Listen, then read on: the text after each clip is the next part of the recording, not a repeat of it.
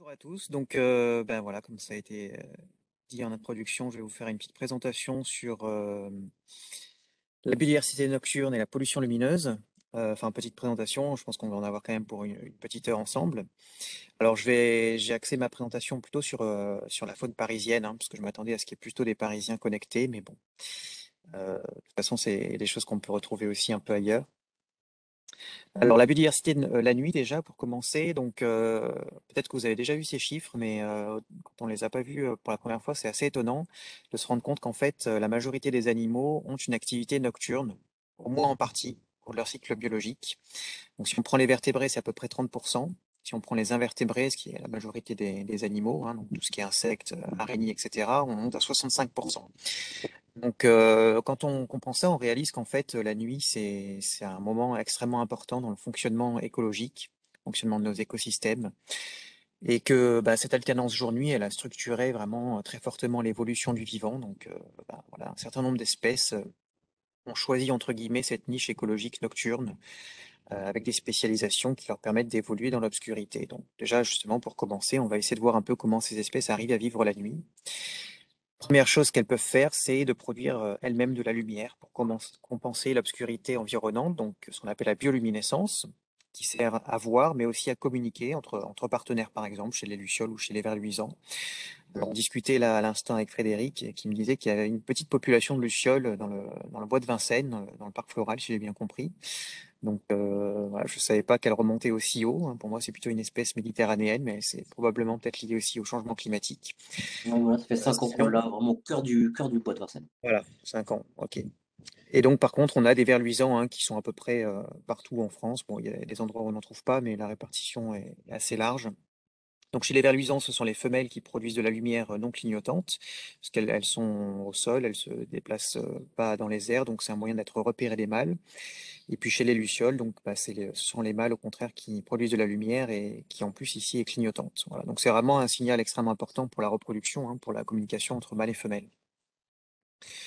Deuxième adaptation, c'est de profiter de la lumière qu'il y a naturellement la nuit, liée au ciel étoilé avec ou pas présence de la Lune, mais bon, dans tous les cas, il y a une luminosité ambiante quand même euh, qui n'est pas négligeable.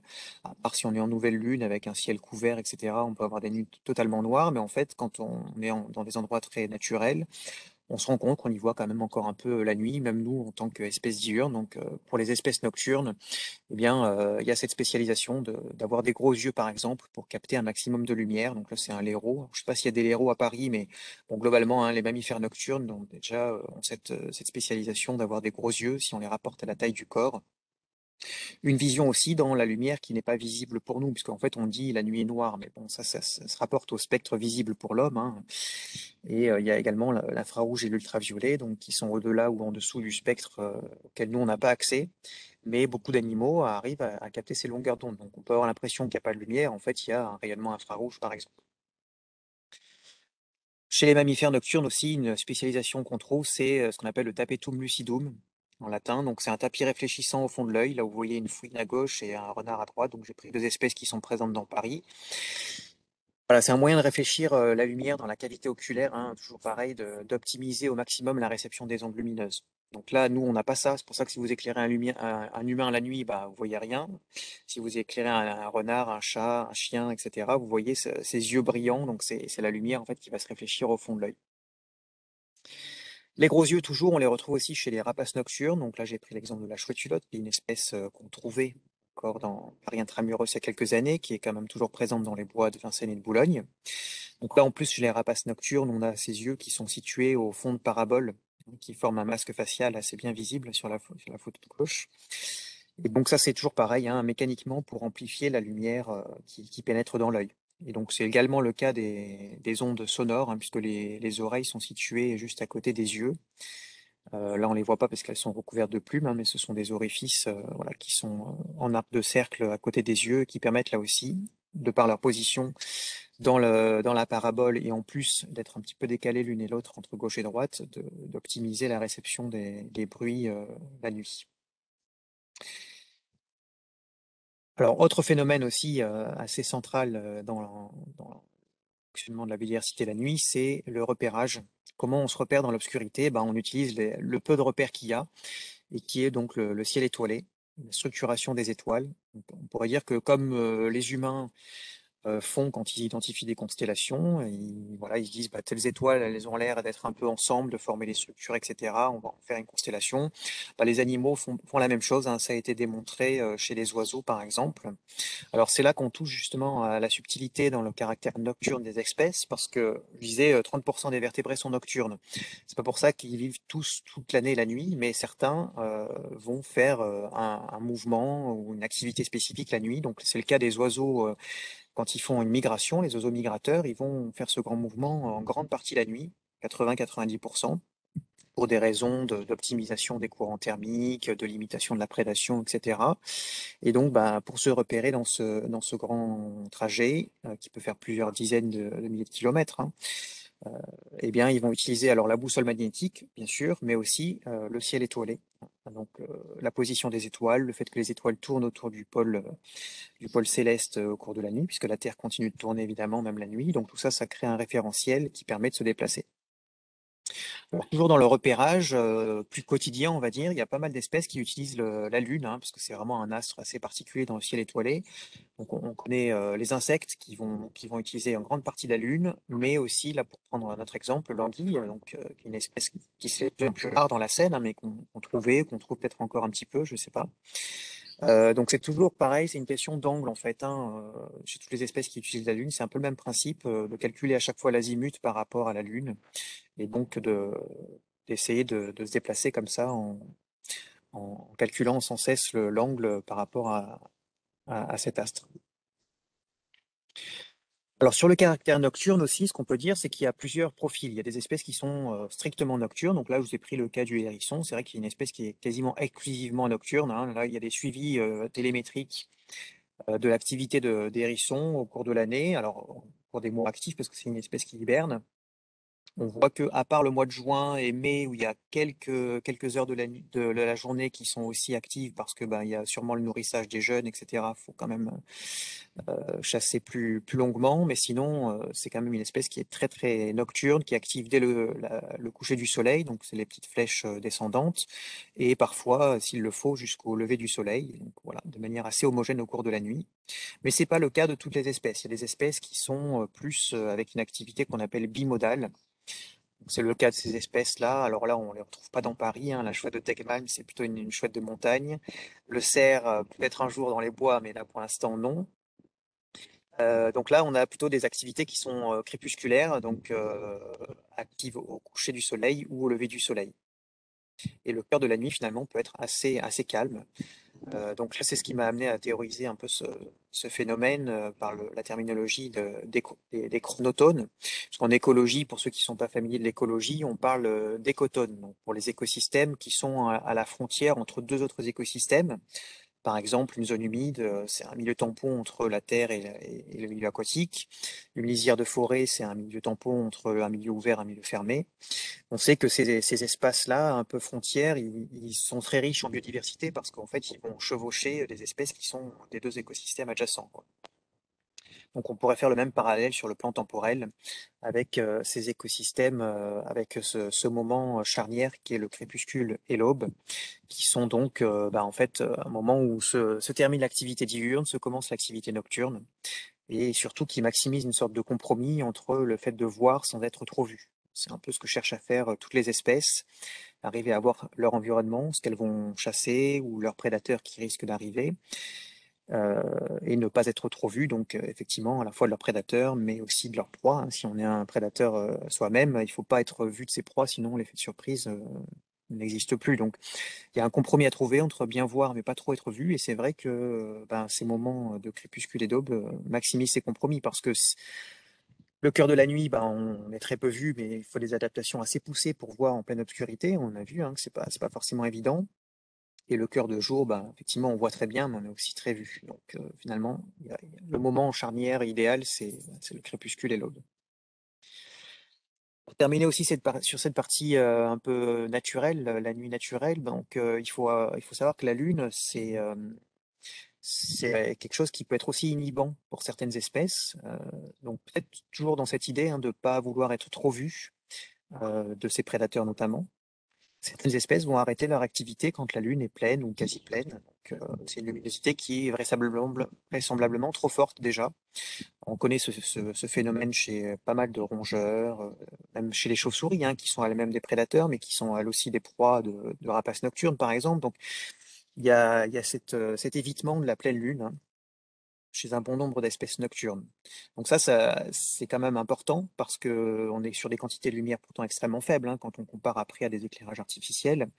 Pour donner un ordre de grandeur, donc l'unité qu'on utilise beaucoup en éclairagisme, c'est le lux, c'est l'unité de base.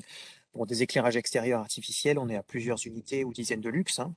Là, la, pleine lune, c'est moins d'un luxe, hein, largement moins d'un luxe, bah, un demi-luxe peut-être. Donc, euh, vous voyez, c'est déjà trop fort pour certaines espèces. Hein. donc, on comprend bien que des éclairages artificiels qui sont en plus allumés toute l'année, toute la nuit, dans la plupart des cas, sont euh, très pénalisants pour des espèces qui sont déjà freinées par, euh, par une pleine lune. Alors, heureusement, entre guillemets, la pleine lune n'est pas là tout le temps, donc ça, c'est un équilibre hein, qui permet à la biodiversité de fonctionner, mais lorsque la lune est pleine, c'est un environnement qui est déjà trop lumineux pour certaines espèces. Donc voilà, nous on arrive dans ce système naturel justement, qui a mis des, milliards d'années à se construire, hein, et donc on, produit euh, ben, de l'éclairage artificiel. Alors pourquoi? Bah, C'est parce que nous on est un animal diurne, hein, on n'a pas de gros yeux par rapport à la taille du corps, on n'a pas beaucoup de cellules photoréceptrices, on a une plage de longueur d'onde assez limitée, etc., Donc on n'est pas, on n'est clairement pas un animal nocturne. On a besoin de lumière pour voir. Euh, notre sens dominant, c'est la vue. Et bah, pour compenser ce manque, hein, on a réussi à gagner sur la nuit grâce à l'éclairage artificiel. Parce que, bah, par contre, d'un point de vue culturel, les humains ont fait le choix de vivre sur, sur la période de nuit, alors que biologiquement, on est un animal diurne. Donc, faut avoir quand même toujours en tête que c'est un luxe hein, qu'on se paye, parfois justement au détriment de l'environnement, d'avoir une activité nocturne en tant qu'animal diurne. Ça n'existe pas pour d'autres espèces. Hein. Donc, on peut le faire uniquement parce que bah, on dompte la lumière artificielle euh, grâce à la maîtrise de l'électricité aujourd'hui et du feu dans les, dans les premiers temps. Alors, on a un atlas de la pollution lumineuse à l'échelle mondiale que vous voyez là. Donc, bon, globalement, la pollution lumineuse, c'est un corollaire de l'urbanisation et donc c'est un corollaire aussi de la, densité humaine. Hein. Ça va un peu tout ça ensemble. Plus il y a d'humains, plus il y a donc euh, des infrastructures grises. Et quand on construit les choses, ben, généralement, on associe ces, constructions à de l'éclairage nocturne. Et donc, euh, voilà, c'est pour ça que vous retrouvez beaucoup de pollution lumineuse euh, en Europe, en Amérique du Nord, en Asie du Sud-Est, etc. Alors l'exception, bah, c'est l'Afrique où il y a beaucoup d'humains, mais il y a aussi un retard d'électrification. Donc là, c'est le seul endroit où il y a beaucoup d'humains et pas beaucoup de pollution lumineuse. Mais euh, sinon, partout ailleurs, il y a cette corrélation assez forte. Si on zoome sur l'Europe, donc euh, plus particulièrement chez nous, bah, on n'a plus de ciel hein, qui soit de, qualité naturelle, ou qu'on soit, y compris en montagne, où on pourrait dire, bah, là, on voit quand même bien la Voie lactée, on est dans un ciel étoilé vraiment beau, etc. En fait, c'est quand même toujours dégradé par rapport à ce qu'on pourrait voir s'il n'y avait aucune pollution lumineuse. Euh, parce que bah, la pollution lumineuse, justement, elle diffuse. Hein, on va le voir beaucoup après, euh, rentrer en détail, mais euh, dans un territoire qui n'est pas euh, urbanisé, qui n'est pas construit, et avoir quand même un ciel étoilé dégradé, une pollution lumineuse ambiante, parce qu'on on en fait de villes qui sont parfois à plusieurs dizaines de kilomètres hein, de, là où on est. Donc voilà, on, voit très bien effectivement les grandes villes hein, sur une carte comme celle-ci, euh, la région parisienne évidemment, on y reviendra, le littoral méditerranéen, la vallée du Rhône, Toulouse, Bordeaux, etc. Alors là, un, ouais, un petit détail sur la, légende. Donc euh, le blanc, c'est cône active, c'est-à-dire qu'en fait dans les yeux, comme vous savez peut-être, on a deux types de cellules. Certaines cellules qui nous permettent de, de voir en nuances de gris, qui sont les bâtonnets et qui n'ont pas besoin de beaucoup de lumière pour, euh, pour activer cette vision, et les cellules euh, qui sont les cônes, qui nous permettent de voir en couleur, mais qui ont besoin de plus de lumière pour être euh, excités, on va dire. Et euh, bah, la nuit, effectivement, en ville, notamment à Paris, mais pas que, on voit effectivement les couleurs. Hein. donc ça veut dire que notre vision de jour, en fait, on pourrait le dire comme ça, se réactive parce qu'il y a suffisamment de lumière, donc on voit les contrastes de couleurs. Effectivement, on voit la couleur des, voitures, la couleur des, bâtiments, des arbres, etc. Ah oui, quelques chiffres aussi sur l'évolution. Donc, c'est une pollution euh, qui, euh, qui, continue d'augmenter hein, encore aujourd'hui, tout simplement parce que, comme je le disais, on continue d'artificialiser des territoires.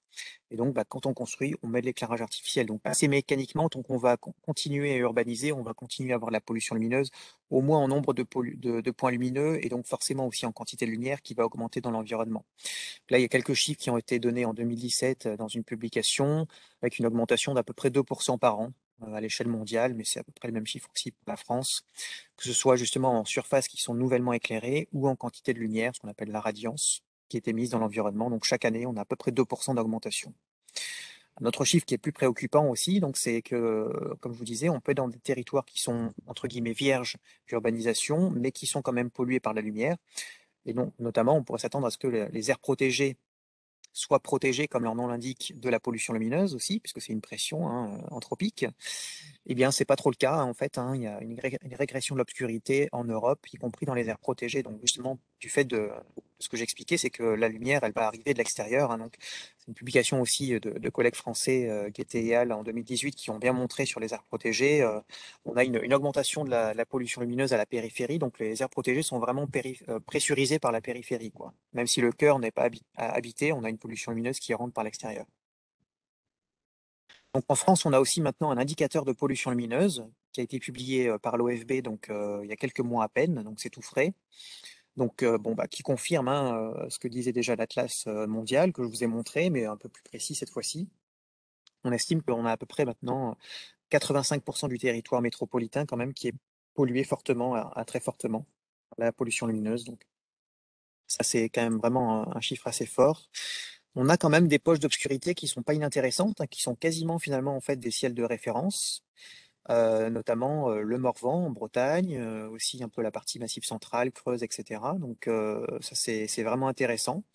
Mais partout, partout ailleurs, on a une sorte de, de, lumière, un environnement un peu laiteux. Et après, quand on est dans les, dans les villes, évidemment, on a une pollution forte à très très forte. L'OFB, hein, c'est l'Observatoire euh, français pour la biodiversité. Oui, alors, alors l'OFB, ouais, c'est l'établissement, Office français de la biodiversité, mais on, gère ce qu'on appelle l'ONB, Observatoire national de la biodiversité, qui est en fait un, recueil d'indicateurs, soit sur les pressions qui s'exercent sur la biodiversité, soit sur l'état de la biodiversité. Et donc, euh, bah, justement, euh, ça faisait des années qu'on avait identifié un manque par rapport à un indicateur national de pollution lumineuse, donc avec l'aide d'un bureau d'études qui s'appelle Dark Skylab.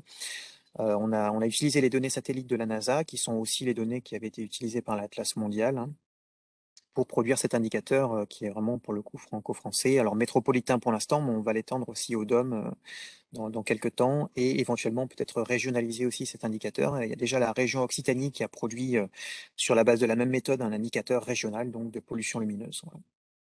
Donc c'est vraiment le, préalable, hein, effectivement. Après, à des mesures, à des politiques publiques, etc., c'est de savoir un peu déjà quel est l'état de la pollution sur un territoire donné, pour suivre ensuite, hein, mettre, à, mettre à jour, actualiser cet indicateur au fil des années, voir si euh, bah, finalement on arrive à corriger un peu le tir ou pas du tout. Alors sur Paris aussi, bah, vous avez sûrement déjà vu ces photos hein, de, l'ISS par Thomas Pesquet qui circulent un peu sur Internet. Il il a, pris pas mal de photos de certaines villes de France, notamment Paris, donc ça c'est quand même assez intéressant on voit qu'il y a quand même les deux bois hein, qui se détachent, euh, bois de, Vincennes et bois de Boulogne, qui sont quand même des poches d'obscurité pas inintéressantes au sein de cette matrice euh, très fortement lumineuse. On voit aussi effectivement la corrélation, comme je disais, entre euh, ben, le réseau routier et l'éclairage. Hein. On voit très très bien le maillage de rues, d'axes routiers, etc., auquel est généralement associé donc des lampadaires. Mais on voit aussi que il y a des espaces qui sont peut-être plus privés, qui ont de l'éclairage. Hein. Notamment, il ne faut pas oublier que toutes les enseignes lumineuses, les publicités lumineuses, l'éclairage des particuliers, mais bon, peut-être qu'à Paris, il y a peu de gens quand même qui ont des jardins avec des éclairages. Mais voilà, il y a toute une source de privée d'éclairage qui, génère aussi une pollution lumineuse. Il hein. ne faut pas réduire la pollution uniquement à l'éclairage public, mais c'est vrai que sur une photo comme ça, en tout cas, on voit très bien se détacher les axes routiers. Voilà, ne pas oublier aussi que, donc là, on va parler de la lumière hein, dans cette conférence, mais en fait, la nuit, la biodiversité est confrontée à tout un ensemble de pressions et même au, sein des, pressions sensorielles, il y en a plusieurs. Donc, on va parler de la lumière, mais il y a aussi le bruit ou les odeurs, par exemple. Donc, tout ça fait une, une, perturbation un peu globale des sens hein, pour toutes les espèces qui, qui, évoluent la nuit, qui ont forcément besoin de solliciter leur sens pour se déplacer, que ce soit la vision, l'ouïe ou l'odorat. Donc nous, on va s'intéresser là prioritairement à la lumière. Alors toute cette lumière artificielle, elle va avoir pas mal d'impact. Nous, on va parler ici de la biodiversité, mais bien sûr, il y a une question de consommation énergétique. Hein. Cette lumière, elle est produite par de l'électricité, donc bah, c'est une facture énergétique et donc financière à, la clé. C'est aussi un impact sur le réchauffement climatique, hein, puisque cette électricité, elle est, produite par, certains moyens. Alors en France, elle est fortement produite par le nucléaire, mais c'est pas forcément le cas partout. Et puis après, en termes d'impact biologique, donc on va s'intéresser, nous, à la biodiversité, mais euh, nous-mêmes, en tant qu'êtres humains, on fait partie aussi de cette biodiversité. Alors moi, je ne détaillerai pas, mais il y a un volet santé, sommeil qui est extrêmement important. Hein, on commence à le réaliser, l'impact de la lumière artificielle, pas que extérieure d'ailleurs, hein, aussi toutes les, tablettes, les smartphones, etc., les éclairages intérieurs, ont, un impact très important sur, sur la qualité du sommeil et plus globalement sur l'état de, de santé, le stress, le vieillissement, etc. Il y a un volet astronomie aussi, qu'elle soit professionnelle ou amateur. Hein. C'est même parmi les premiers acteurs qui ont commencé à alerter sur le phénomène de pollution lumineuse. Et puis il y a un volet culturel, sociétal, hein, c'est-à-dire le, rapport qu'on a à, la nuit, hein, les paysages nocturnes aussi, euh, qui, est, qui, sont fortement affectés par la pollution lumineuse. Un chiffre qui m'a frappé juste sur le volet santé, euh, donc c'est que finalement, euh, donc c'est ce qu'on appelle les lumières intrusives hein, qui rentrent dans les appartements et donc euh, éventuellement même dans les chambres à coucher. Il y a eu un, sondage qui a été fait par la MGEN et l'Institut national de la, de la santé et de la vigilance. Alors ça date de 2013, hein, donc bon, c'est pas forcément tout frais, mais il y a quand même 25%, à peu près un quart en fait, hein, des Français qui disent être gênés dans leur sommeil par de l'éclairage public qui pénètre dans leur chambre. Donc c'est quand même pas négligeable. Hein. Alors c'est vrai qu'on est quand même très nombreux à vivre, euh, à avoir vécu ou à vivre ça. Euh, on a une fenêtre qui donne directement sur la rue, on n'a pas forcément de volet, on a un lampadaire qui est euh, mural par exemple, accroché directement à l'immeuble. et donc là la lumière elle rentre très très facilement dans, dans la chambre et donc elle peut gêner assez fortement le sommeil.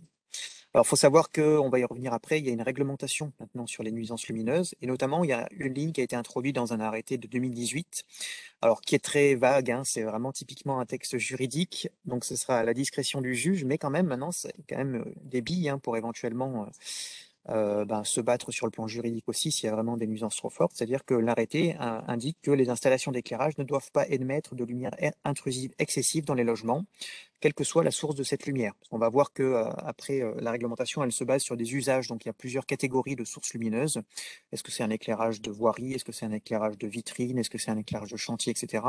Là, c'est une mesure vraiment générique. C'est-à-dire quelle que soit la source lumineuse, il ne faut pas qu'il y ait de lumière qui soit intrusive dans un logement.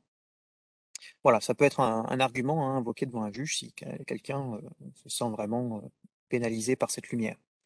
Mais un quart quand même des Français qui disent, en tout cas en 2013, euh, qui disaient être gênés dans, leur chambre par de l'éclairage public. Alors sur la biodiversité, quels sont les impacts de toute cette lumière? Donc déjà en termes de connaissances, il faut savoir que c'est pas récent hein, qu'on sait qu'il y a des impacts de la lumière artificielle.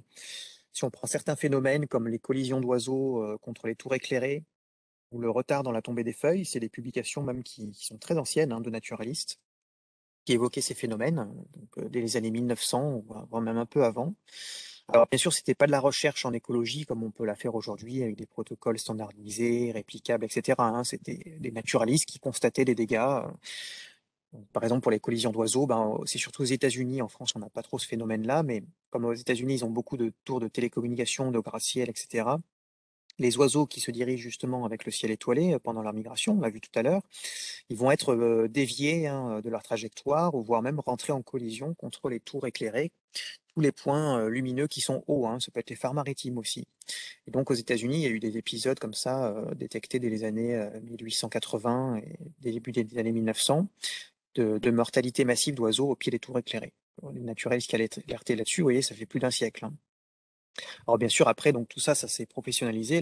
L'écologie s'est emparée de ce sujet avec euh, voilà, de la recherche hein, qui est menée, euh, y compris maintenant, même en France, hein, pour démontrer des impacts sur euh, certains taxons, sur certaines fonctions biologiques, sur des relations entre les espèces, les déplacements à l'échelle du paysage, etc. Donc on va essayer de voir un peu un tour d'horizon de ces différents impacts un phénomène de base qui va dicter pas mal de choses, c'est le phototactisme. Donc la lumière, a un pouvoir sur les animaux, c'est assez fascinant. Soit elle va les repousser, soit elle va les attirer. On ne comprend pas forcément tout, hein, pourquoi ça se passe comme ça, mais la répulsion, donc c'est ce que je disais tout à l'heure, on imagine qu'en fait les, animaux ont, associé la, lumière à une sorte de danger, hein, notamment pour toutes les espèces qui peuvent être mangées par d'autres.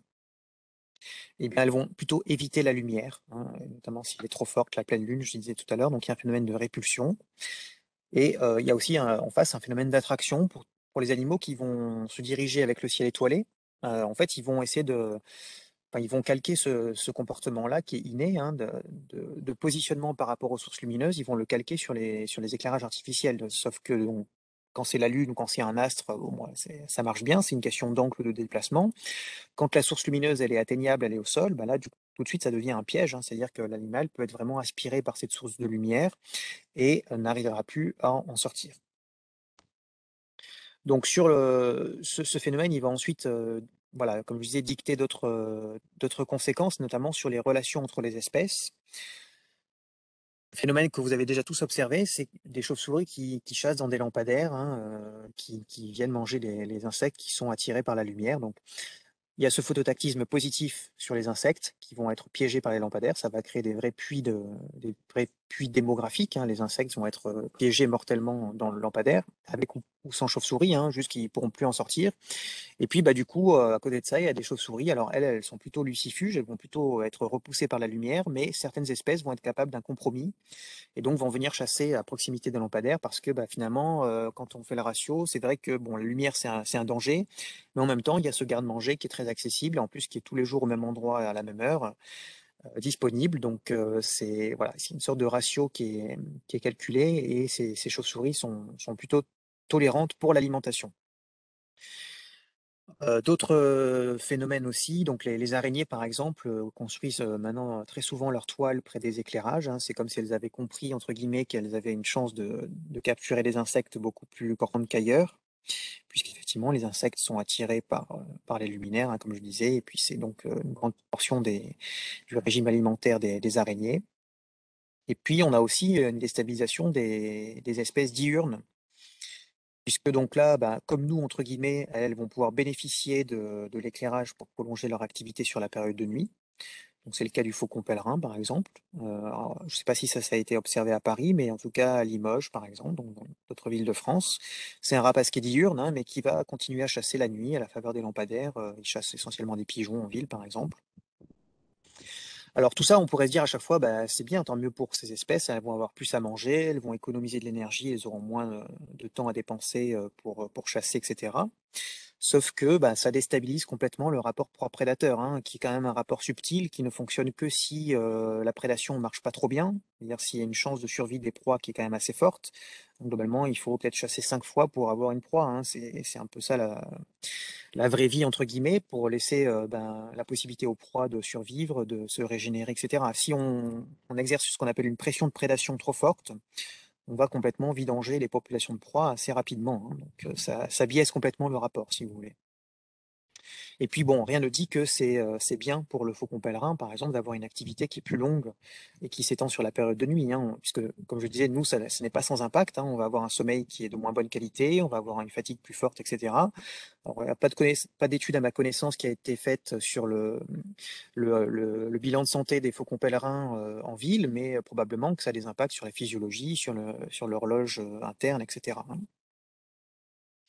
Sur les chauves-souris aussi, c'est vrai, c'est pareil. On pourrait dire, bah, elles ont plus à manger, tant mieux, mais des, collègues du muséum ont montré que finalement, pour tout le reste, ces chauves-souris, elles recherchent vraiment l'obscurité, hein, y compris celles qu'on pourrait dire favorisées par la lumière, les pipistrelles notamment, qui, comme vous l'avez vu sûrement, donc, elles viennent chasser dans les lampadaires. pour l'hibernation, pour, pour la reproduction, pour les transits, etc., ces espèces, elles recherchent l'obscurité. Donc ça a été montré à l'échelle de certaines villes, hein, notamment Paris, la lumière est globalement néfaste, hein, impacte négativement euh, les populations de, ces espèces de chauves-souris. Donc c'est vraiment un avantage très local pour l'alimentation, mais pour tout le reste, c'est pas pas le cas. Et si on prend l'échelle française, donc euh, une collègue aussi du muséum dans le cadre de sa thèse avait montré que la, pollution lumineuse en fait est la deuxième menace pour les chauves-souris. Euh, juste après l'imperméabilisation du sol, et même avant l'agriculture intensive. Hein. C'est-à-dire que la lumière artificielle, elle va avoir plus d'impact finalement. Euh, non, pardon, l'agriculture intensive est le premier facteur, et puis euh, ensuite c'est la pollution lumineuse qui est devant l'imperméabilisation du sol. En fait, un lampadaire va avoir plus d'impact, hein, en termes de surface notamment, que le simple fait d'avoir bétonné le sol, hein, puisque comme je disais, la lumière diffuse, donc le fait de mettre un lampadaire dans, l'environnement nocturne va faire diminuer, va faire régresser l'habitat des chauves-souris sur une surface bien plus grande que simplement l'endroit même où le lampadaire est implanté. Aussi une, autre espèce, hein, donc euh, voilà, comme je disais, j'avais orienté un peu la présentation sur la, faune parisienne, donc je ne pouvais pas ne, pas évoquer la chouette euh, hulotte, qui est un rapace nocturne, donc assez commun, hein, voire très commun en France, qui peut fréquenter les villes hein, sans problème, du moment qu'il y a des parcs, etc., qui était présente euh, à Paris en nombre assez conséquent jusque dans les années 2000, et puis qui a, euh, ben, on va dire, un disparu hein, vraiment de Paris Intramuros. La dernière reproduction qui a eu lieu, donc à ma connaissance, que moi j'ai suivie, c'est euh, en 2012, près des buts de Chaumont. Ça commence à remonter, ça fait une dizaine d'années. Alors, elle est toujours présente dans les bois de Vincennes et de Boulogne, mais dans Paris Intramuros, alors qu'elle était présente au Jardin des Plantes, euh, au parc Montsouris, au parc Monceau, au Luxembourg, au musée Rodin. Enfin voilà, il y avait pas mal de hotspots quand même dans Paris intramuros. Euh, cette espèce a disparu. Alors il y aurait un couple qui se maintiendrait, si je me trompe, au Père Lachaise, mais je ne sais pas s'il y a encore de la reproduction. Bon, en tout cas, c'est quand même vraiment une dégringolade assez forte. Euh, voire drastique de la population. Et donc, ce qui est intéressant, c'est que quand j'avais commencé à m'intéresser à cette espèce, j'avais trouvé cet écrit ancien de 1957 d'un naturaliste qui, lui, vous voyez au contraire le retour de cette espèce dans Paris, puisqu'elle visiblement elle n'était pas présente avant, puis elle est arrivée dans, Paris dans les années 1940, et lui, il a associé ça au contraire eh bien, au couvre-feu hein, de, la, Seconde Guerre mondiale, et donc il écrit dans, son texte que il semble, en ce qui concerne la hulotte, que celle-ci profitait pour se fixer dans la capitale des nuits sombres et silencieuses hein, qui ont marqué de 1940 à 44 les années d'occupation. Donc là, c'est quand même vraiment intéressant. La première fois où je suis tombé là-dessus, je me suis dit, ah bah oui, c'est vrai que si ça se trouve, la lumière a quand même vraiment un effet, et donc le bruit aussi, sur la présence de la chouette culotte, euh, ou son absence, du coup, dans Paris. Et donc, bah, on pourrait imaginer que petit à petit, euh, ce cocktail, hein, comme je disais, c'est pas que la lumière, hein, mais c'est la lumière, le bruit, c'est euh, pas mal de, facteurs. C'est vrai qu'en ville, maintenant, ça change un peu, mais euh, il n'y a pas si longtemps, on coupait encore le moindre arbre dès qu'il était un peu vieux. Donc, euh, les cavités, elles sont dans les arbres anciens. Hein. La chouette recherche les cavités. Donc, euh, voilà, tout un cocktail de, pression qui a fait disparaître cette espèce, mais la lumière n'est sûrement pas totalement étrangère à cette disparition. Dernière observation par la chaise chouette était en 2000, était en 2021, mars 2021. Ok, bon, donc ça veut dire qu'encore assez récemment, elle fréquente le, Père Lachaise. Je cherche s'il y a des traces de, nidification, mais je pense pas. Alors, autre phénomène que va provoquer la lumière artificielle, c'est la fragmentation. Donc, la fragmentation des habitats, c'est-à-dire le fait que les habitats vont être déconnectés les uns des autres, vont être séparés par des barrières infranchissables. On connaît bien ce phénomène le jour. Hein, donc, quand on voit cette photo aérienne, on voit bien que effectivement il y a tout un quadrillage, hein, comme je disais, de voiries qui va euh, isoler euh, les parcs entre eux, qui va isoler même les jardins éventuellement des particuliers, les cours d'immeubles, etc. Donc, ça fait vraiment des isolats euh, de, milieux semi-naturels, d'espaces verts, on va dire, par, les infrastructures physiques. Et donc là, la nuit, bah, on va rajouter en plus une, fragmentation intangible hein, qui est due, à la lumière artificielle, hein, qui va alors soit se superposer vraiment à la fragmentation physique. une route, elle va avoir un effet fragmentant et en plus, quand elle est éclairée, bah, c'est une sorte de fragmentation au carré. Mais comme je disais, ça va au-delà. Hein. La lumière artificielle, elle, se, elle, se, déplace, donc elle va pouvoir créer des barrières à des endroits où il n'y avait pas forcément de fragmentation physique. Donc ce phénomène, bah, voilà, ça, peut être assez net. Hein. On, peut avoir visuellement, c'est vrai qu'on s'en rend facilement compte. Hein. justement, une route qui est éclairée, elle, peut segmenter vraiment de manière très nette des espaces naturels de part et d'autre, et donc empêcher le, franchissement de, de cette route par, par les animaux. Alors ça a été maintenant même démontré sur le plan fonctionnel, c'est-à-dire que clairement on voit qu'il y a des animaux qui n'arrivent pas à franchir une route qui est éclairée uniquement parce qu'elle est éclairée et pas, pas vraiment parce que c'est une route. Hein. Donc c'est vraiment la lumière qui crée cette, cette barrière. Ça a été montré chez des, chez des amphibiens, par exemple, ou chez les insectes. Là, on retrouve toujours ce fait, ces deux phénomènes hein, d'attraction-répulsion qui va faire que dans les deux cas, eh bien, euh, la route sera pas franchissable. C'est-à-dire que les espèces qui sont repoussées par la, par la lumière euh, elles vont buter sans cesse sur la route. Hein. Euh, s'il n'y a pas de trou et noir, si les lampadaires sont trop proches les uns des autres, etc., ça fait une sorte d'infrastructure lumineuse qui est complètement continue, donc un mur infranchissable. Donc ça, on compte bien ce phénomène euh, chez les amphibiens, chez, les mammifères. Et puis les espèces qui sont attirées par la lumière, typiquement les insectes, eux, ils vont, euh, ben, ils vont être au contraire aspirés par, par ces trous, surtout sont linéaires. hein, ça va créer une sorte de pluie linéaire, infranchissable. hein, donc, euh, des auteurs des années 2006 qui ont théorisé ce phénomène sous le, terme de crash barrier effect, ou vacuum effect, hein, donc euh, l'effet aspirateur. Voilà, les insectes sont attirés et collés sur la route. Ils ne pourront pas en sortir.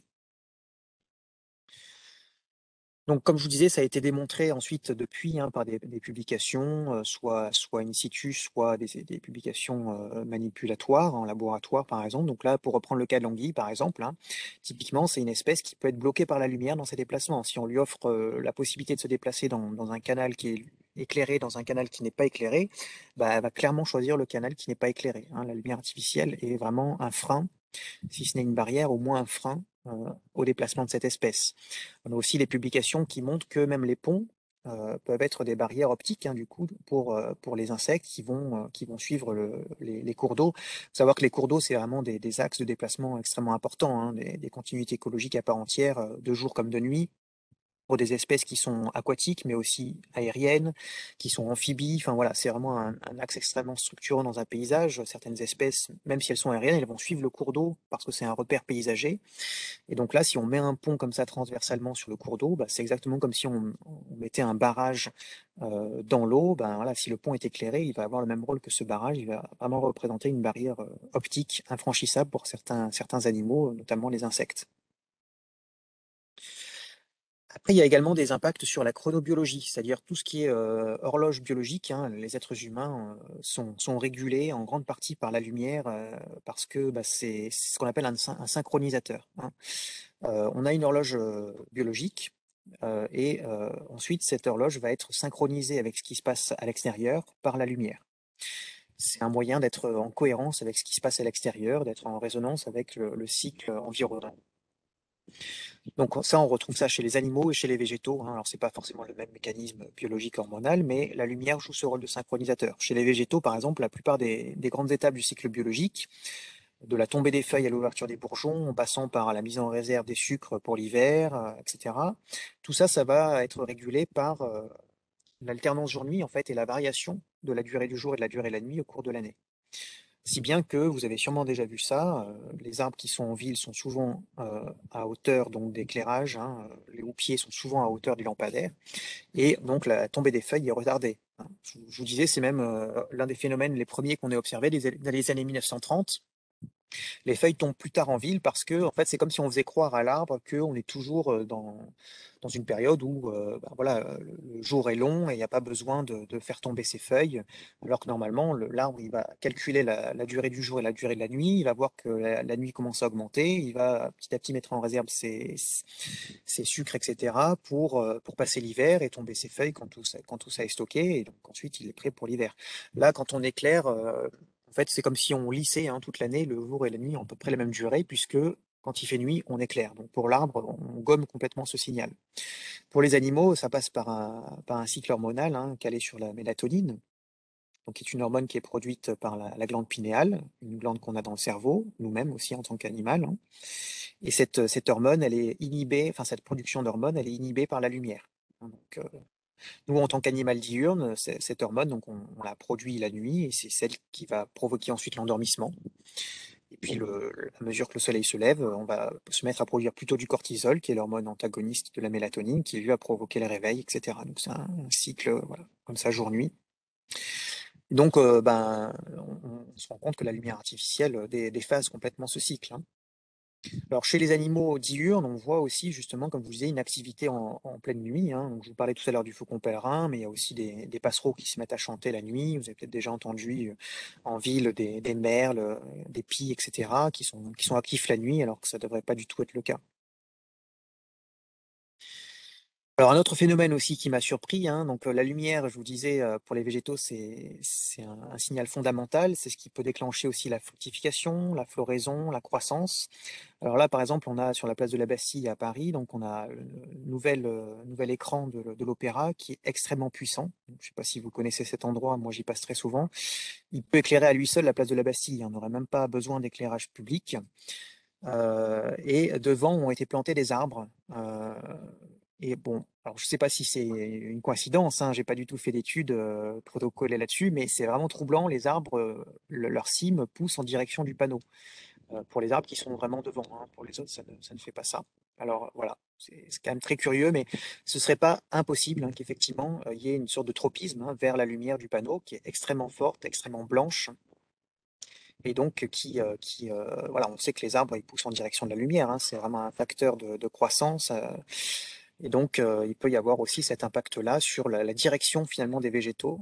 J'ai jamais vu ça quand même, hein, vraiment in situ, mais le, panneau est extrêmement fort. Donc ça, c'est vraiment un, sujet euh, d'actualité, hein, ces grands panneaux euh, LED qui commencent à remplacer les panneaux qui étaient avant des panneaux papier. hein et qui sont extrêmement brillants, euh, qui font même mal aux yeux pour les humains. Enfin, on est ébloui quand même euh, plusieurs secondes après, quoi. Donc, euh, et ça, pour l'instant, ce n'est pas euh, réglementé, hein, malheureusement. La technologie va toujours plus vite que la réglementation, donc euh, ça, on peut encore, hein, tout à fait, euh, effectivement, faire ce genre de panneaux extrêmement puissants, alors que maintenant, il y a des, des règles assez strictes sur l'éclairage de voirie. euh, là, on va voir tout ça après.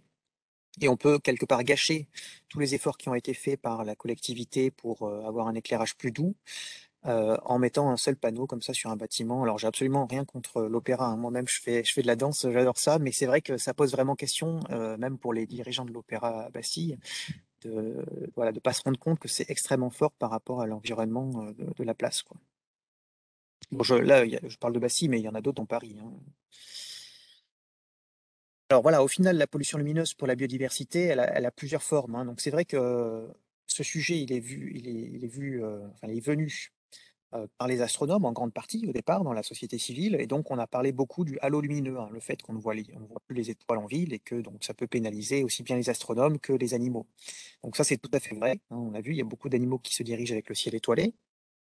Mais la pollution lumineuse pour les animaux, pour les plantes, hein, vous l'avez vu, c'est d'autres formes de pollution. C'est pas que l'accès au ciel étoilé. hein. Ça peut être des éblouissements, une lumière directe qui va pénétrer dans l'œil, qui va créer des, des lésions, pourquoi pas irréversibles, même sur la rétine. hein.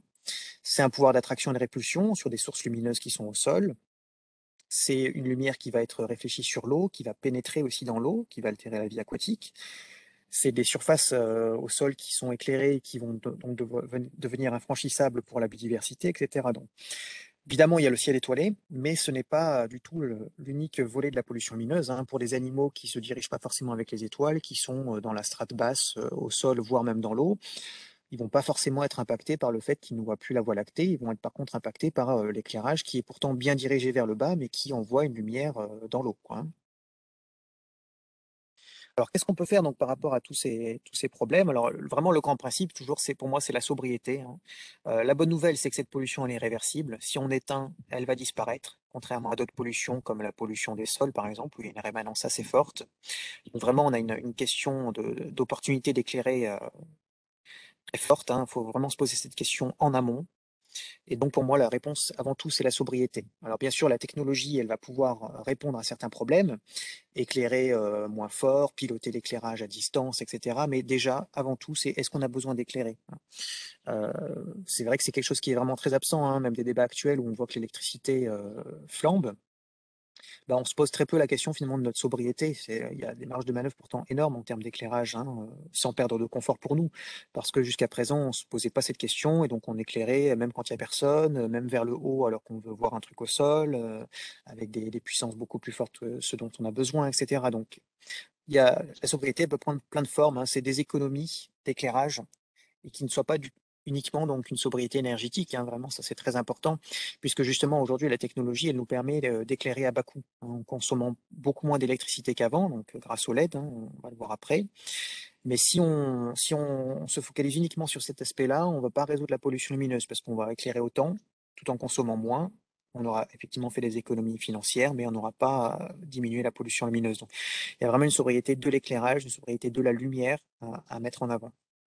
Et donc après, évidemment, si on fait le choix d'éclairer, hein, ce qui est tout à fait entendable, ben voilà, essayer d'éclairer au plus juste, uniquement quand il y a quelqu'un qui passe, euh, uni- uniquement dans la direction où on veut voir sorte, euh, une certaine cible, un trottoir, euh, un panneau, etc. Donc tout ça, ça nous amène à ce que j'appelle la gestion différenciée de l'éclairage. hein. Le parallèle que, je fais souvent, c'est avec la gestion des espaces verts. il y a quelques années ou décennies, on, générait tous les espaces verts de la même façon, et donc en France de manière très jardinée, hein, vraiment à la française, avec des jardinières, des, des pelouses bien tondues, etc. Là, aujourd'hui, on voit une sorte de gestion différenciée, où il y a des pieds d'arbres qui sont moins ou, plus gérés, tout en ayant des jardins qui soient encore très patrimoniaux, très jardinés pour l'aspect culturel, historique, etc. hein. Tout ça peut cohabiter, mais donc voilà, c'est vraiment une gestion différenciée. On ne gère plus partout tout le temps de la même façon la végétation, et donc on peut tout à fait faire le même parallèle sur l'éclairage. On n'a pas besoin partout tout le temps du même niveau de lumière sur un, sur un territoire donné. Alors, pour gérer cet éclairage, il y a trois axes possibles. Donc, il va y avoir un axe qui est très technique. Je vais en parler un petit peu quand même parce que c'est important quand même de comprendre tout ça. C'est quelles sources lumineuses on met. Un axe temporel, évidemment, les horaires, la durée, l'éclairage, etc. Et puis un axe spatial, puisque la localisation du point lumineux n'est pas anodine. Hein, en fonction de, des enjeux de biodiversité, il va y avoir quand même plus ou moins d'impact. Alors, avant de rentrer dans ces éléments-là, donc euh, justement un point sur la réglementation. Donc, depuis le Grenelle de l'environnement, il y a une réglementation qui s'est mise en place en France sur les nuisances lumineuses. Donc, ça remonte quand même au Grenelle, hein, ça fait ça fait dix ans, plus même. Donc, il y a eu notamment un décret spécifique sur les enseignes et les publicités lumineuses euh, en 2012 qui demande l'extinction entre 1h et 6h du matin euh, de, ces, structures-là. Alors, il y a des exceptions, hein, mais globalement, la règle, c'est quand même l'extinction au cœur de nuit. Depuis 2018, en plus, toutes les enseignes sont concernées et pas uniquement les nouvelles. Il y avait un délai de, conformité qui était laissé de, de, 6 ans, donc depuis 2012, mais donc là, depuis maintenant 5 ans, 4-5 ans, euh, tout le monde est concerné. Il y a eu un décret aussi euh, assez fort sur les vitrines, les bâtiments non résidentiels et les bureaux en 2013 qui demandait là aussi l'extinction globalement hein, de, ces, structures entre 1h et 7h du matin. Donc là, cet arrêté-là, il est abrogé parce que en fait, on a eu un arrêté euh, en 2018 qui est, qui est plus fort, hein, qui l'englobe et qui l'élargit. Et donc, entre-temps, il y a eu cette loi aussi biodiversité hein, qui, a, souligné en fait la dimension nocturne de l'environnement à plusieurs niveaux du code de l'environnement. Par exemple, euh, dans les, les, biens communs de la nation, donc euh, l'eau, les sites, les paysages, etc., il est précisé que les paysages peuvent être à la fois diurnes et nocturnes dans l'article aussi qui dit que chacun doit prendre part euh, à la protection de l'environnement, les citoyens, les entreprises, etc. Il est souligné que l'environnement peut être aussi nocturne. Donc, voilà, c'est pas forcément des choses, à mon avis, qui changent euh, vraiment euh, sur le plan juridique. C'est une sorte de discrimination positive hein, où ça va mieux en le disant que l'environnement il peut être aussi nocturne. Voilà. Et donc après, bah, en 2018, je vous disais, hein, c'est la dernière grosse évolution réglementaire. Il y a eu deux arrêtés ministériels qui ont été produits. Alors, c'est suite à un contentieux d'ONG hein, qui ont attaqué l'État en Conseil d'État et qui ont gagné pour défaut de, réglementation sur les nuisances lumineuses. Et donc, il y a eu un premier arrêté qui liste les sites euh, d'importance euh, nationale sur le plan astronomique, sur lesquels des mesures plus strictes peuvent s'appliquer. Et puis un arrêté donc de prescription technique et temporelle euh, par catégorie d'usage qui va fixer donc justement des seuils, hein, des limites d'horaire, de température, de couleur, etc., en fonction des différents types de lumière. Donc voici les différentes catégories qu'on reconnaît dans le code de l'environnement. Donc euh, ça, comprend à la fois les éclairages de voirie, euh, donc tout ce qui est sécurité et confort des déplacements ou des biens, euh, la mise en valeur, hein, à la fois des monuments ou des parcs et jardins, les structures sportives, l'éclairage intérieur des bureaux qui va vers l'extérieur. Donc cette catégorie D, elle comprend aussi bien sûr tout ce qui est vitrine, hein, vitrine des commerces. on a aussi les parcs de stationnement, les chantiers, l'événementiel, puis on a aussi donc les enseignes et les publicités lumineuses, hein, qui, comme je le disais, donc, elles sont régies carrément par un décret spécifique. Donc voilà, pour toutes ces catégories, alors sans rentrer trop dans le détail, maintenant il y a des seuils. Hein. donc par exemple, si on prend la catégorie de l'éclairage de voirie ou des parkings. avant que tu, oui. avant que tu développes ce, passage, est-ce que tu peux parler un petit peu des serres Là, c'est euh, Charline qui demande ah oui. Euh, des, serres lumineuses. Euh, hein, on pense notamment oui, effectivement, c'est un sujet euh, dont on parle pas mal euh, dans la presse là, depuis euh, quelques temps.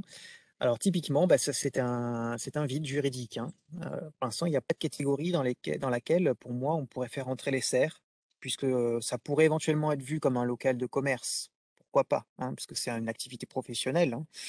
Donc la catégorie D, mais donc à ce moment-là, il n'y a pas de règle qui s'applique, puisque par définition, la serre, elle fonctionne aussi la nuit. Si, si l'objet de la serre, c'est de faire pousser des végétaux, on peut dire que la serre est en activité la nuit, donc euh, on ne va pas demander une extinction de la serre la nuit. Donc euh, non, pour l'instant, pour moi, c'est vraiment un trou dans la raquette. Il n'y a pas de, a pas de règles qui s'imposent à ces structures-là. Mais euh, voilà, c'est comme je disais, la technologie va souvent plus vite que la réglementation. lorsqu'on a fait, lorsque le ministère a fait cette, cet arrêté en 2018, déjà, il a repris les catégories qui avaient été édictées par le, par le Grenelle. Donc, finalement, à cette époque-là, il n'y avait pas ou très peu de serres comme ça, de cette ampleur, en tout cas en France. comme on peut le voir maintenant, effectivement, dans la banlieue de Rennes, voilà, en Bretagne, etc., qui sont extrêmement, extrêmement lumineuses. Donc, bah, c'est un manque. Ouais, pour l'instant, c'est un manque. On a Laurent aussi, je ne sais pas si tu pourras nous répondre là-dessus. Euh, est-ce que tu as une info sur euh, le pourquoi est-ce qu'on a autorisé les publicités jusqu'à une heure? Euh, pourquoi pas plus court? Parce que voilà, effectivement, il n'y a quand même pas beaucoup de monde jusqu'à une heure, mais Oui, alors, c'est vraiment nécessaire? Tout à fait. Ouais. Alors, sachant qu'en plus, à chaque fois, hein, euh, quand je dis une heure du matin, enfin, c'est ce que j'allais vous développer après, c'est euh, aussi en fonction de l'activité. Typiquement, les vitrines, elles doivent s'éteindre à une heure du matin, mais si le commerce ferme plus tard, c'est une heure après la fin de l'activité. Donc, euh, là, c'est une heure du matin au plus tard, en fait. Hein. si, si, le commerce il ferme à 19h, il peut effectivement laisser son enseigne jusqu'à 6 heures jusqu'à 1h du matin, sa vitrine. Donc c'est vrai qu'on peut, on peut, on peut considérer que c'est tard. Je pense que c'est un compromis qui a été trouvé parce que bah, c'était déjà quand même un grand pas en avant d'imposer une extinction. Hein. Là, pour le coup, c'est quelque chose qui est obligatoire, même si c'est quand même entre nous assez peu respecté. C'est pourtant la réglementation imposée. Donc je pense que voilà, pour une première étape, une heure du matin, c'était un horaire qui était plutôt consensuel pour tout le monde. Et donc ça fait quand même un cœur de nuit entre 1h et 7h du matin ou 1h et 6h du matin pour les, pour les enseignes publicités, qui est quand même pas, pas négligeable quoi, pour la biodiversité de la nuit. Mmh. Donc voilà, là vous avez un peu sous les yeux, bon sans rentrer trop dans les détails, hein, mais vous voyez, il y a en fait un, tableau à, faire hein, en reprenant l'arrêté ministériel. Là c'est euh, le CRMA par exemple qui a fait sa version, qui est assez, assez pratique à lire. Donc euh, il y a les différentes catégories d'éclairage, et puis il y a les différents facteurs qui sont régulés maintenant par la réglementation. Alors ça peut être l'inclinaison de l'éclairage pour limiter la lumière qui part vers le ciel, ça peut être la concentration de la lumière dans un code donné pour pas éclairer en dehors de la cible. Ça peut être la teinte de la lumière, ce qu'on appelle la température de couleur. Ça peut être la quantité de lumière par mètre carré, etc., etc. Ou les horaires aussi. typiquement, euh, par exemple pour les parcs et jardins, maintenant, bah, donc euh, les parcs et jardins euh, doivent être éteints à 1h du matin.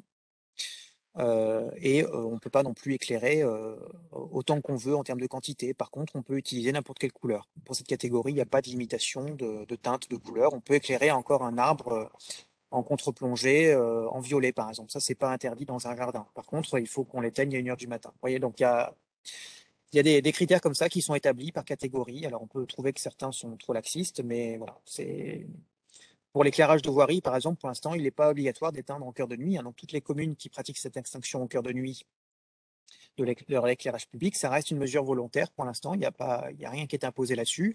Par contre, pour l'éclairage de voirie, c'est quand même l'une des catégories qui est la plus réglementée. On ne peut pas éclairer euh, avec n'importe quelle couleur. Hein. Il faut que ce soit un blanc quand même plutôt chaud. On ne peut pas éclairer vers le ciel. C'est quasiment 0% autorisé au-dessus de l'horizontale. Et puis, on ne peut pas non plus euh, avoir un cône qui soit trop large. Il faut que la lumière soit relativement concentrée dans, dans un cône émis par le lampadaire. Il y a plein de critères comme ça euh, sur l'éclairage sur de voirie.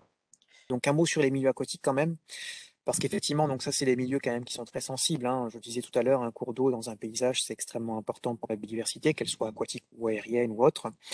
L'arrêté ministériel de 2018 demande justement qu'il n'y ait plus d'éclairage direct vers les cours d'eau, vers les surfaces en eau en fait, hein. les cours d'eau, mais aussi les lacs, les étangs, euh, les mares, etc. Ça vaut aussi pour le, domaine, euh, enfin le, littoral, hein, pour la partie euh, maritime, donc on ne peut plus éclairer directement vers la mer, par exemple. Hein. Si c'est une plage qui est euh, occupée par un restaurant, etc., les, projecteurs ne doivent plus être tournés vers la mer. Alors ça, entre nous, c'est pareil, hein. c'est quelque chose qui est pour l'instant très très peu appliqué. Alors c'est plus récent, c'est 2018. Hein.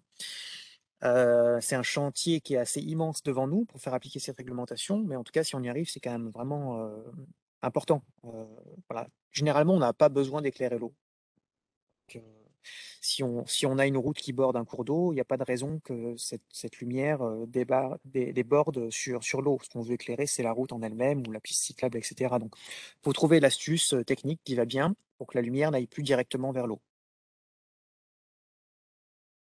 Alors sur la temporalité, bah, donc voilà, cette fameuse mesure d'extinction en cœur de nuit, donc, qui je rappelle est une mesure volontaire, qui est pratiquée dans des milliers de communes en France, surtout des petites communes, entre guillemets, hein, des communes plutôt rurales, mais de plus en plus des, communes de taille quand même conséquente se mettaient à éteindre. Donc euh, là ce matin, j'étais d'ailleurs en, conférence avec euh, la ville de Bourges, qui est en train d'expérimenter depuis le mois de septembre une, extinction d'une partie de leur, commune. Donc c'est quand même une ville de 60 000 habitants aussi, mais vous avez voilà, d'autres communes qui, se mettent à éteindre. Donc Rouen, par exemple, hein, là, vous ai mis l'extrait puisque c'est assez récent, ça date à peu près du, Covid et des confinements. Donc maintenant, il y a des quartiers qui sont éteints entre 1h et 5h, et 5h du matin, donc à Rouen, quand même aussi une grande ville, etc. Alors c'est une mesure de bon sens, hein, typiquement, dans en tout cas dans les petites communes rurales. Passer 20 heures l'hiver, bien sûr, il n'y a plus personne dans les rues. Moi, pour moi, pour avoir une maison en Creuse où je suis en ce moment, justement, dans les tout petits hameaux, il n'y a vraiment pas besoin d'avoir de lumière. Hein. donc c'est une mesure de bon sens. Qui fait gagner tout de suite sur la facture énergétique, sur le retour du ciel étoilé, etc. Sur la biodiversité, c'est plus compliqué. Alors, c'est n'est pas que c'est pas efficace, mais ça dépend beaucoup de l'horaire d'extinction. Parce que justement, comme je disais tout à l'heure, il y a pas mal d'espèces qui sont actives en début, en fin de nuit, donc il faudrait éteindre vraiment le plus tôt possible. Donc, euh, ça dit aussi que c'est pas suffisant, c'est-à-dire qu'il faut essayer de faire de l'extinction au cœur de nuit, mais aussi de travailler sur les débuts et fin de nuit pour, euh, là, pour le coup, peut-être avec de la, de la gestion de l'éclairage dynamique, réduire l'éclairage aussi en durée sur ces plages-là, début et fin de nuit, avec la détection de présence, des minuteries, etc., pour que l'éclairage soit vraiment limité au moment où il y en a besoin, y compris en début en fin de nuit. Voilà, bah aussi, voilà, un mot justement sur l'éclairage intelligent, donc tout ce qui est détection de présence, etc. Donc ça, pour le coup, c'est la technologie LED hein, qui le permet comme c'est des composants électroniques, on peut mettre l'éclairage en, réseau, les piloter à distance, etc. Donc il y a des expérimentations qui sont en place, et notamment il y en a une à Paris, hein, dans, le, 15e, donc l'extrait que je vous ai mis là. Donc là, le, principe, c'est qu'on n'éteint pas forcément à 100% l'éclairage. Il peut être maintenu à 10%, par exemple, quand il n'y a personne, et puis dès qu'il y a quelqu'un qui passe, une voiture ou un piéton, ça remonte à 70, 80 ou 100%. Donc ça, c'est ce qu'on appelle du dimming, c'est-à-dire qu'on va diminuer la puissance de l'éclairage quand il n'y a personne. On n'éteint pas complètement. Alors, il y a une publication pour l'instant, euh, une seule à ma connaissance, hein, qui a essayé de voir si c'était efficace sur la biodiversité, le fait de faire du dimming. Et c'est bon, c'est pas extrêmement convaincant non plus. Alors, il faudrait multiplier l'expérience dans des sites différents, etc. Mais là, il, trouve un résultat quand même assez, significatif pour tout ce qui est punaise, hein, donc certains insectes nocturnes effectivement, le fait de, diminuer assez fortement la lumière dans certains, laps de temps va quelque part libérer tous les insectes qui étaient piégés par la lumière, mais ça n'a sûrement pas la même efficacité que d'éteindre complètement, euh, puisque certains, certains insectes, hein, notamment, sont, comme je vous disais, sont très sensibles à la lumière. Donc, même si on maintient l'éclairage à 10-15%, euh, donc le dimming, ça reste peut-être suffisant pour créer un, piège lumineux. C'est peut-être ça qui fait qu'on ne voit pas forcément d'impact euh, strictement positif sur, sur le piégeage d'insectes. Bon, l'orientation, ça je vais passer vite. Hein. Le principe, comme vous le savez, c'est de ne pas éclairer le ciel, d'éclairer vraiment au maximum vers le bas. Mais comme je disais tout à l'heure, c'est pas non plus une fin en soi, c'est-à-dire que quand on éclaire vers le bas, ben, on va quand même continuer à impacter la biodiversité au sol ou dans l'eau. Donc il faut essayer d'éclairer vers le bas tout en diminuant quand même les quantités de lumière ou la durée de l'éclairage. Sur la couleur de la lumière, donc un mot quand même, ça c'est vraiment le débat du moment. Donc effectivement, on peut trouver des teintes très très différentes, voire vraiment des couleurs de lumière, hein, surtout dans la mise en valeur des, des monuments par exemple. Alors, il y a tout un sujet justement sur le, choix, des sources lumineuses, parce qu'en fonction des, types de lampes qu'on va choisir, on n'aura pas le même spectre derrière. Ce qu'on trouve encore beaucoup dans l'éclairage public, c'est les lampes qui éclairent orange, là. Je pense que vous voyez tous de quoi il s'agit. C'est ce qu'on appelle les lampes à vapeur de sodium haute pression. Donc, ça fait partie des lampes qu'on appelle lampes à décharge. En fait, il y a une ampoule qui contient un gaz, donc là, en l'occurrence, le sodium, qui va réagir avec euh, le courant électrique en produisant des photons. Et en fonction du gaz, donc, ces photons se, vont vibrer dans une longueur d'onde donnée. Pour le sodium, c'est globalement les longueurs d'onde plutôt jaune-orange. Hein. C'est pour ça qu'on a un spectre assez restreint autour du jaune-orange. Pour le mercure, c'est autre chose, etc. Et donc, depuis quelques années maintenant, on voit ce qu'on appelle les LED. Hein. Donc là, on change complètement d'univers. Il n'y a plus vraiment d'ampoule comme on la connaissait avant, c'est des composants électroniques. Et la manière dont ces LED sont constitués, bah, c'est vrai qu'on a une proportion de bleu qui est assez importante parce qu'on part du bleu à la base, qu'on on va filtrer ensuite par une matière jaune pour produire du blanc. je ne rentre pas trop dans les détails techniques. Et le bleu, c'est vrai que ça fait partie des longueurs d'onde qui sont les plus impactantes, hein, à la fois pour la biodiversité, mais aussi pour le sommeil. Tout à l'heure, je parlais de la mélatonine, c'est vraiment la lumière bleue qui va bloquer sa production. Donc tout l'enjeu là de ces dernières années, la réglementation maintenant on fixe un seuil, c'est d'écraser ce pic de bleu pour avoir moins de bleu dans le spectre, hein, d'avoir un, blanc qui soit plutôt chaud. Mais c'est vrai que comme on part d'une LED bleue à la base, ben, on a forcément du bleu euh, plus que dans une lampe à, sodium hein, qu'on utilisait avant, qui elle n'a quasiment pas de bleu, hein, comme vous pouvez voir sur les spectres euh, à l'écran. Donc là, c'était des exemples justement euh, à Nice Métropole ou à, Lille, donc des LED ombrés ou même sans qu'elle soit ambrée, avec des températures de couleur, donc des teintes qui soient quand même beaucoup plus vers le jaune que vers le blanc. Sachant que, comme je vous disais, maintenant la réglementation fixe un seuil, donc cette, fameuse température de couleur hein, qui s'exprime en Kelvin, qui traduit globalement la proportion de rouge et de bleu dans la lumière, et plus la température est basse, plus la lumière elle est chaude. C'est l'inverse de la température en Celsius en gros.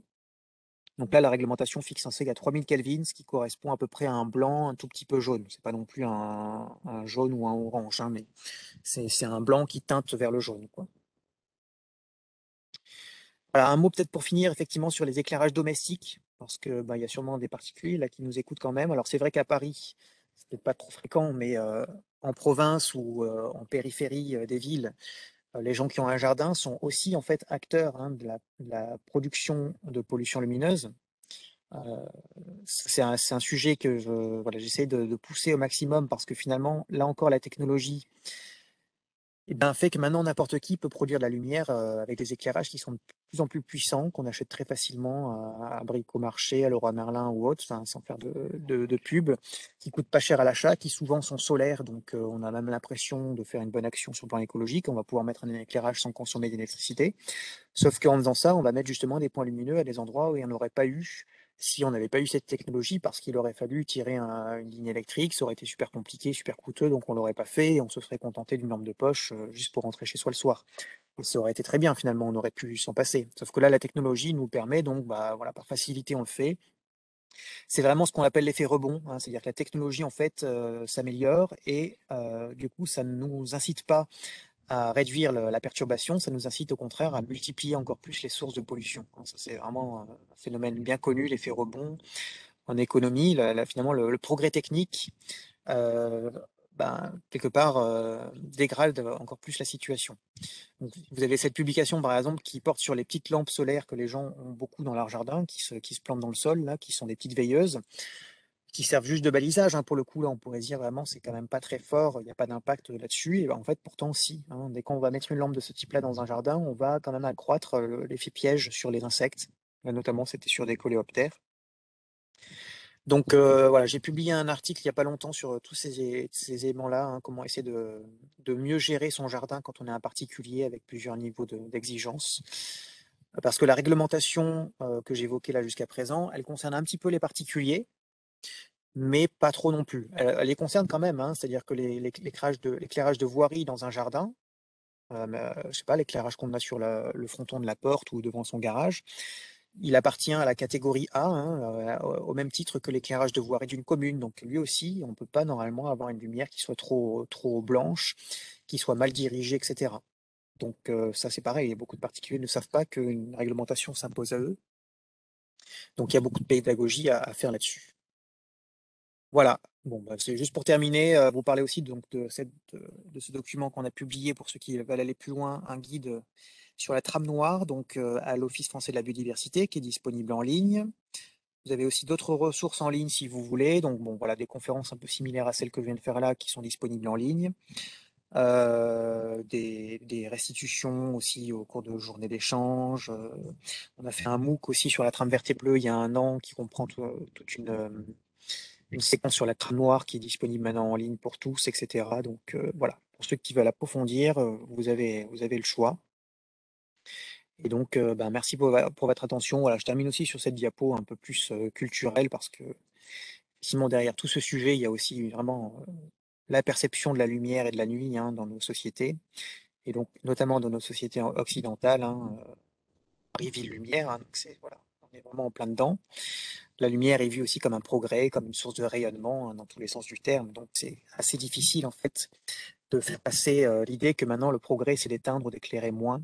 Hein, parce que jusqu'à présent, c'était plutôt l'inverse. Hein. Avoir la lumière dans un village, c'était euh, le progrès. Et puis, euh, enfin, on est, équipé comme les urbains, etc. Donc là, c'est très difficile d'aller à contresens, en fait.